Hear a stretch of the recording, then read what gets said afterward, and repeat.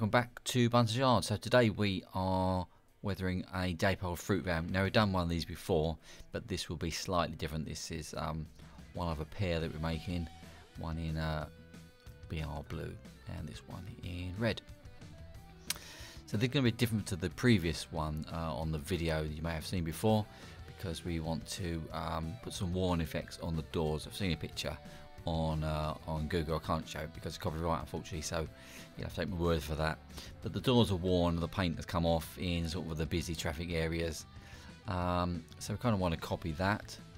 Um, and so we're going to use uh, um, different techniques and uh, sort of experiment with that. Now these uh, these bits here at the bottom, just be careful if you do weather these. These are really thin and they break. I seem to have broken every single one. So I'm going to pay particular attention today and hopefully I won't break it. So for the weather, uh, so the worn wood effect, what we are going to use are these oil brushes and we can use these three colours. We've got ochre, which is like a light yellowy brown, buff, which is a beige, and then this medium grey, I think it's called.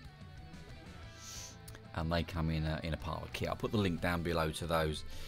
Now the brushes that come in those are, are way too big for what we're going to need today. So we're just going to put a little tiny bit in the palette we just need um, that's more than enough actually just two dots of that. Uh, that's the uh, the ochre. And then that one is the buff and then we're going to use the grey as well. Now um, when wood um, fades in the sunlight it does go to the sort of between these browns and these grey colours. Now that grey looks a bit dark on the screen. It's not really it's quite a light colour um, so there's our three colours and we're going to put them on like a, so it looks like a sort of transition between one and the other. Similar to do when we do rust, but we're just going to use different shades. So we're going to use the dark colour first, so the ochre, that's the brown one. And I'm just uh, looking for the correct brush to use. So we're going to use a fine brush to dot it on. We really don't want that much on then. And then we're going to use a, a small soft brush uh, to blend it in a little bit. So we'll just try it uh, just to get an idea of how much we're going to need. So we're just going to dot it on. We're not, it's already diluted this paint in the tube, so we don't need to um, add any oils. You can do, but uh, for this particular um, use, we're not going to. Then with the soft brush, um, we're just going to uh, soften that in and see what effect it looks. I mean, it's, it's probably a bit too uh, it's not effective enough. So we'll put more on, we'll try again. And then we're going to blend it in.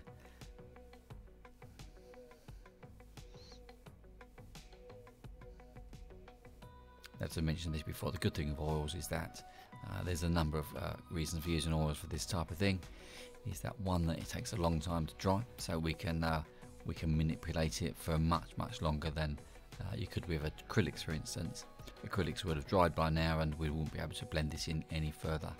Um, also we can add to this if we choose to, if we don't like it, we can add uh, odorless thinners over the top and just get rid of the whole thing and start again.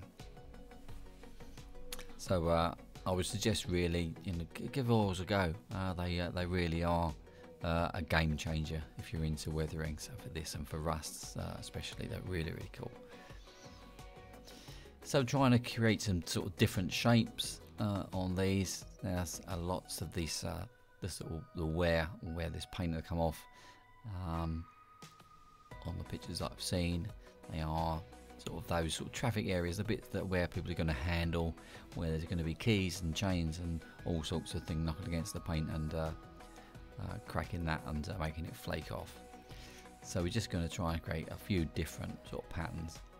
So that's the first layer gone on, and the next one, which is this um, buff color, which is it's um, uh, just a lighter shade. We're going to do more of that and, and put that kind of in the middle. We don't want to go right up to the edge. We want there to be sort of some sort of transition between that shade and the um, and the ochre, that, that lighter brown color.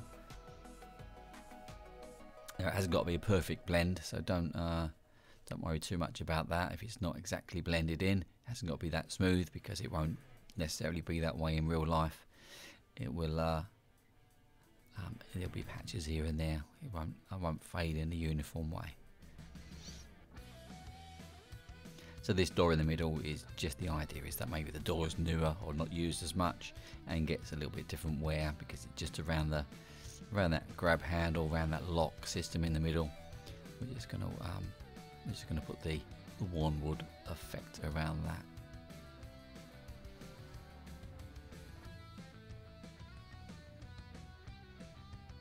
Now this may at the moment just look a little bit sort of stark and uh, contrasty. Um, it will, um, when we get the rest of the layers on, it will sort of uh, blend in a bit more, it won't, won't stand out as much. It's just the rest of the wagon is completely clean. And then we've just got this, um, this faded patch, so it's going to look a bit odd to start with. But hopefully as we get our next couple of layers on, it will, um, it will sort of blend in and soften the effect up a little bit. So this is our um, our grey colour. And again, we're just concentrating even more in the centre of that um, worn patch. Hasn't got to be completely uniform, but just trying to get some sort of transition between the colours.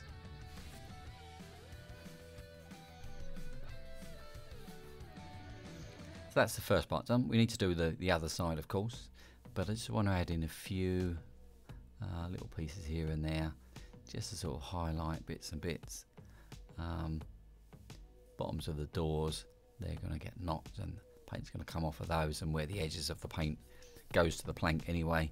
It's that's where it's going to start. To flake and chip. So we're just going to touch a little bit of that in. And we're just trying to do this in a random fashion because the paint won't flake um, in the same place everywhere on every panel. It'll be different. Some uh, some of the planks will be painted slightly better than others maybe, or they may get different sort of damage that starts the flaking process.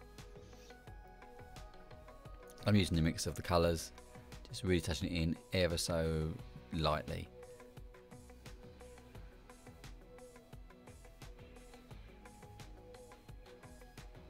So that made me feel the places where I think it would, uh, where it would start, where the paint would start to chip off. So where the hinges have been bolted on for instance that's going to break through the paint um, and that's going to let water get underneath the paint and uh, pop that off and uh, start that flaking process.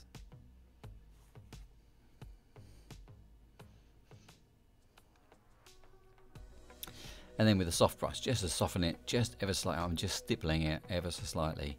It just kind of softens the edge up just ever so, uh, ever so slightly.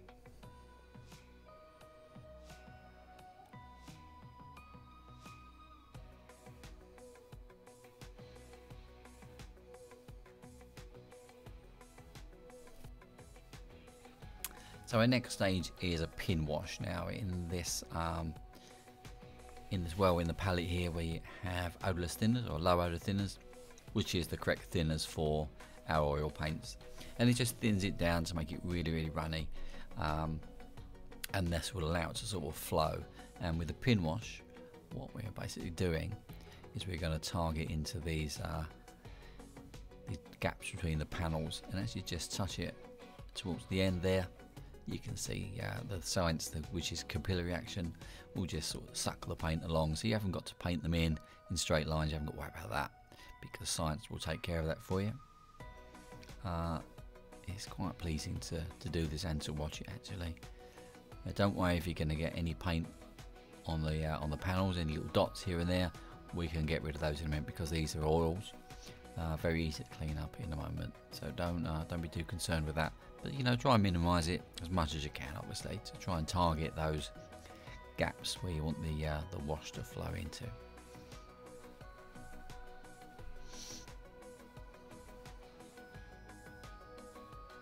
And we need to go around the whole wagon doing this.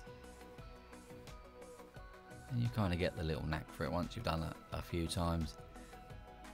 You'll, uh, you'll know how um, sort of dilute the wash needs to be and how much you need on your brush. It's just uh, just getting used to it.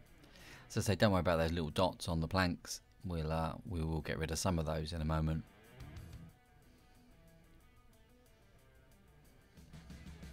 Again, when this uh, when this dries, the effect will um, lessen off slightly. It's always a lot brighter when it's in uh, suspended in its oil. Once the oil goes, it will fade back just ever slightly. and won't be as uh, sort of pronounced as it looks at the moment.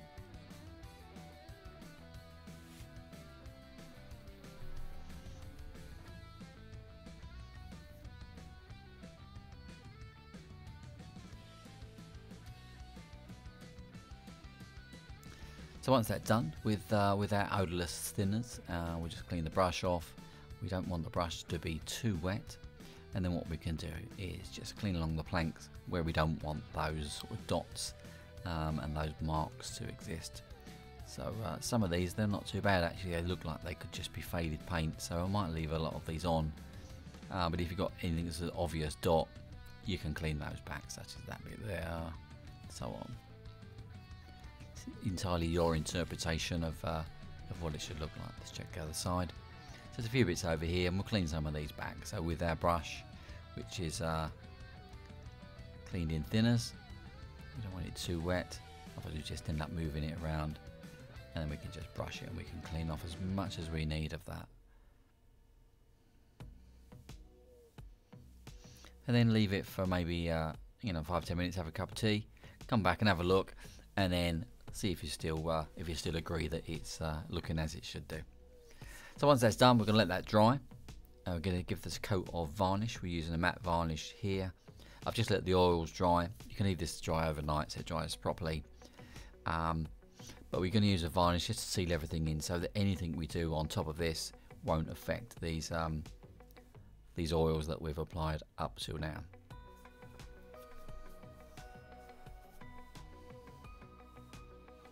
And then we're going to leave the varnish to dry for a few hours till it's thoroughly dry and then we're going to crack on with our next uh, next stages.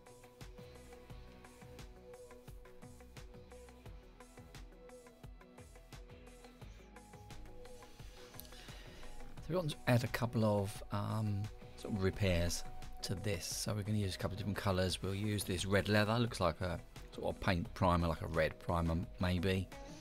Um, it's just different shades of what we've got on the wagon.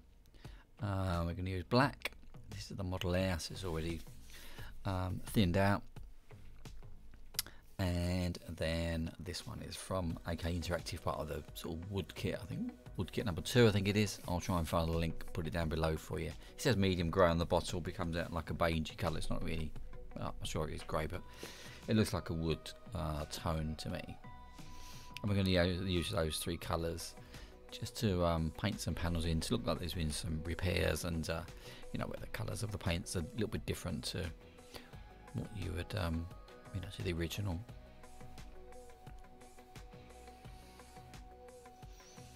So we'll start with the, the medium grey, the sort of wood colour. So this looks like a repair uh, where they've replaced one of the planks and they've either not painted it or, um, or the paint's come completely off. I'm just doing this with a very fine brush and um, haven't got my super magnifying eyes on. Um, so, uh, this is as good as it's going to get for this particular one. And we need to put in some random panels, random planks that you want to replace. Um, I always say this, you know, it's difficult to create random because you tend to do the same when you get on the other side, or as you go along, you you, you kind of tend towards the same um, sort of panels uh, because they're easier to paint or whatever the reason may be. But uh, try to resist that. So we're, we're going to replace this one on the edge, edge of the door. Um, so the plank goes obviously from the top to the bottom. So we tend to want to want to do the whole of the uh, the plank.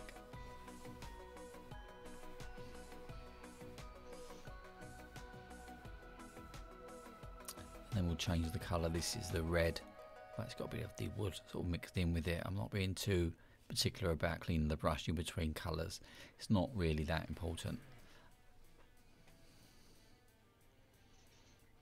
So this one we'll replace two of the planks there and they've been primed um, and they've never been painted or it's been painted the wrong colour red whatever your you know your, your backstory is with this. It can be a completely different colour if you choose I did consider painting one of the doors uh, in BR blue because the other um, fruit van is BR blue and yeah could have easily just had the door swapped from one to another if the door on this one was rotten and the other one was a scrapper yeah, maybe it was feasible that they would have done, you know, changed the whole door.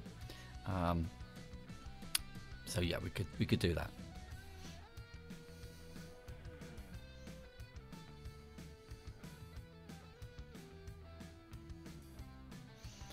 These planks on this panel, they would run between the doors from one end to the other.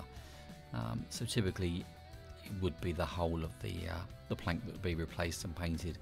But there's no reason why they can't be painted different colours, different ends.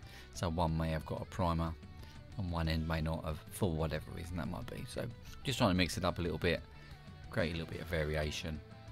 So using the red primer colour here, but mix it in with the wood. So it just creates a different colour totally.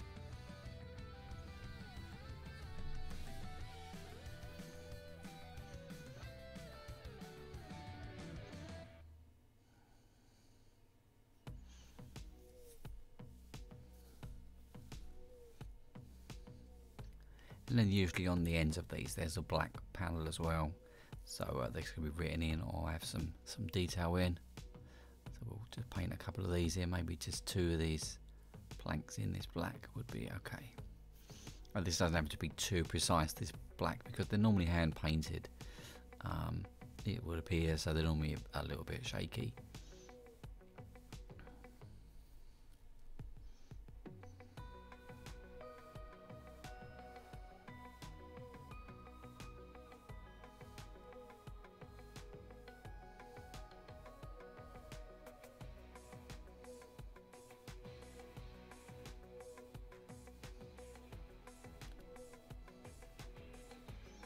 Think one more thing I want to do just on this door, just to create another black panel as well. Just to paint this in freehand again. As I say, it'd be typically they would be painted in by hand, not sort of masked off in any way. They'd just be a, a squarish type shape um, from the pictures I've seen anyway. So that's what we're to do. We're just to create a um, a black panel that we can we can put a marking in or write in later on.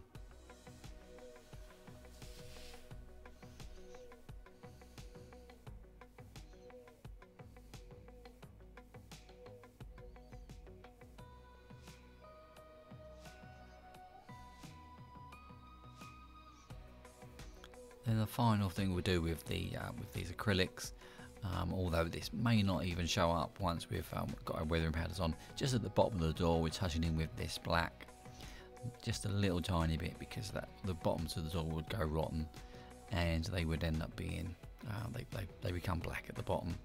So we're just going to touch it in just a little bit. It's not um, by by no means an essential step to do on this one. Um, we'll give it a go. Like I say, when we put the powders on, it may disappear totally anyway, so we'll see.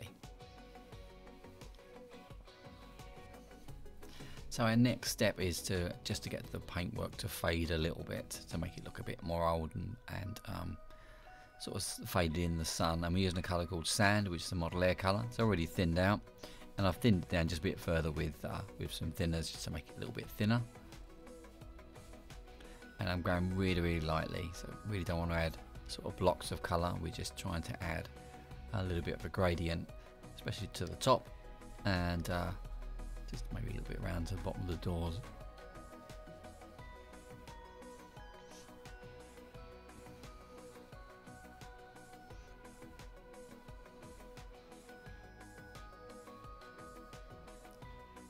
And do the, uh, the ends as well.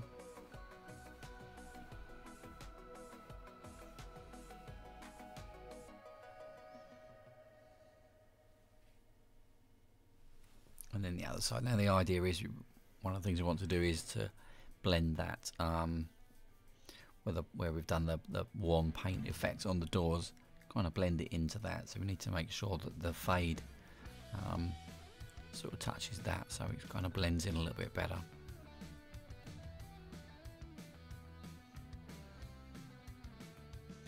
Now if we look on some uh, of these, you'll see complete panels which are totally different colour. For whatever reason that might be, they have completely faded differently. Whether they've been repainted and the paint's uh, obviously reacted different to the sunlight, don't know. But uh, yeah, don't be afraid to to have completely uh, random panels with different colours because uh, that was quite often seen from the from the images that I've been looking at anyway. And we're going to use this um, red leather again, and just to create a, like a rusty wash. So I've thinned this down um, just with thinners, and um, just going to touch it on the, the metal sort of easy areas here. Um, are made from uh, some sort of metal angles and we're just going to use that just to add a little bit of rust colour into that. Once this dries it will be uh, you know be quite subtle, may not even be noticeable but we're just going to put it in these bits, maybe a little bit on the hinges and around the locks and so on. Probably not going to try and cover everything. You can if you want to do this and maybe use a different shade, maybe use darker brown as well just to create a, you know a nicer rust effect but uh, I'm just trying to add the colour in um, just to give the impression of sort of rust on these uh, on these angles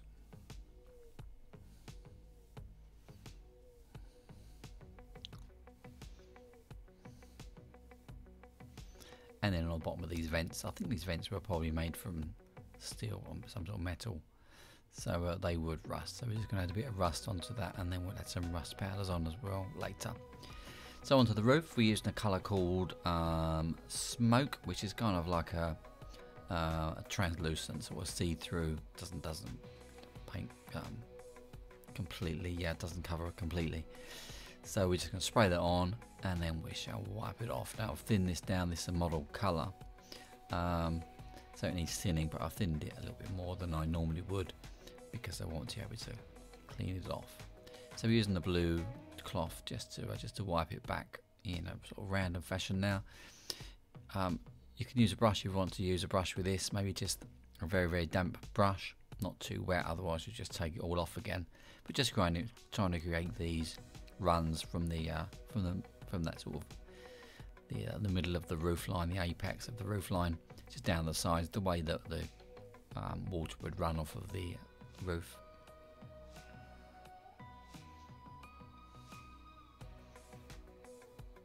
And by using the cloth where the uh, those vents come up, um, it's going to leave some of the smoke effects around the, the vents just to highlight them a bit more and uh, hopefully give that effect of the of the water running off the roof.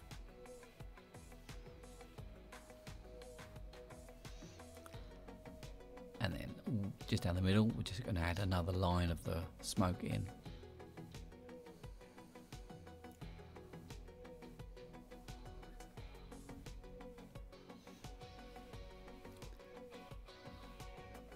and then we just highlight those vents just a little bit more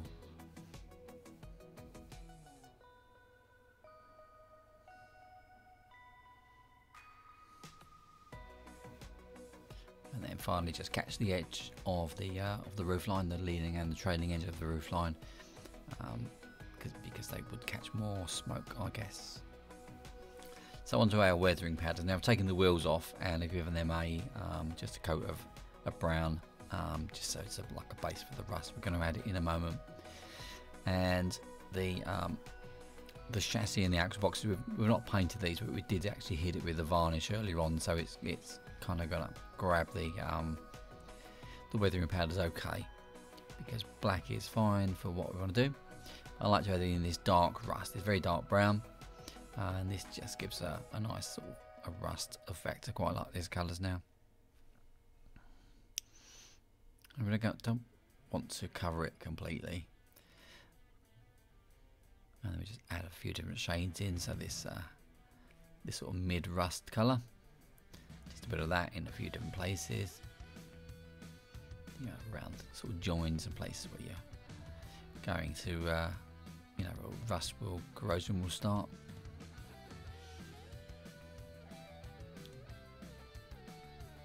Maybe at the end of those beams, I guess, would uh, be a good place for that rust to to begin, where all the uh, the mud and the water would sort of congregate, and uh, good place to start rust and then this yellow is uh, it's just a nice colour once you blend that in it looks quite nice and then underneath there there's a looks like a um, like a cylinder brake cylinder perhaps so uh, a bit on that just to highlight that a little bit.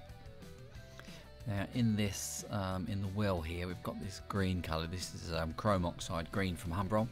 I'll put the link down there in the description for you.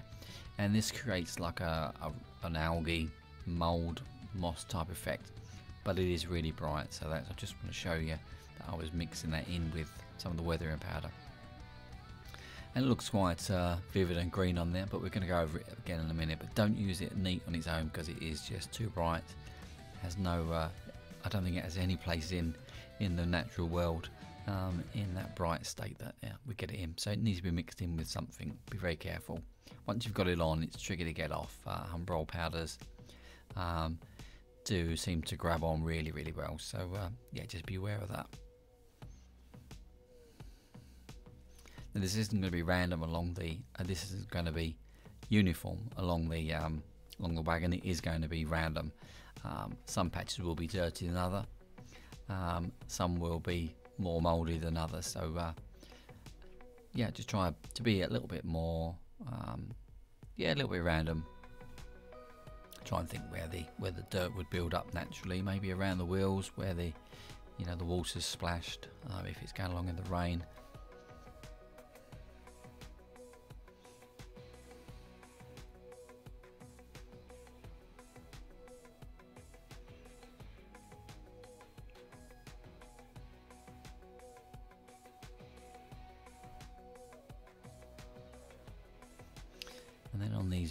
These just before we finish the weathering, we're just going to put some random markings in there. Uh, they'd be destination boards, I guess, or something like that, or I don't know. Maybe there's some code what this number might be. I have no idea. It's just a just a random marking for, for this particular one. And the idea of this is that it's a destination and that's been crossed through. Or it, it's small. It's going to be hardly legible that size anyway if it's handwritten. And then we'll just quickly dust that over quickly just to uh, make it look like it's been there for a little while. And a final thing we need to do is just a bit of powder into the wheels. It'll be uh, uh, a little bit rusty at this stage, I guess.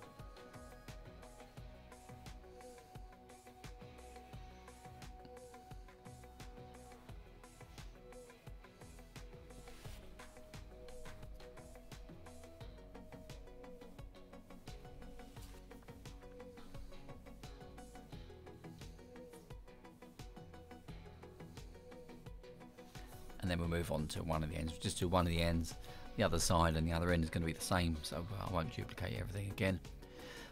But on those buffers, they would uh, this stage be um, showing signs of corrosion, so we use our, our mid rust on that one, and also around the uh, the, the, coupling hook there, and just a bit of the yellow one, just to uh, just to highlight that a bit more.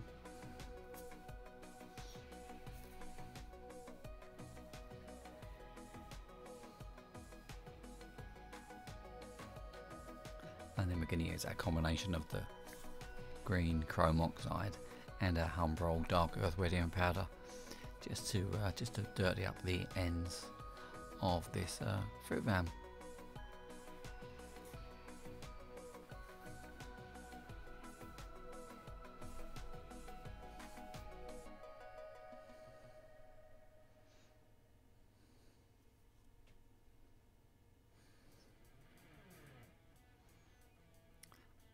And that's it, we are pretty much done for this one. So we'll give this coat of uh, lacquer after and just seal everything in. And there it is on the track. So I hope you enjoyed this one and um, hope to see you very soon in a Bunter's Yard. Thanks for joining us.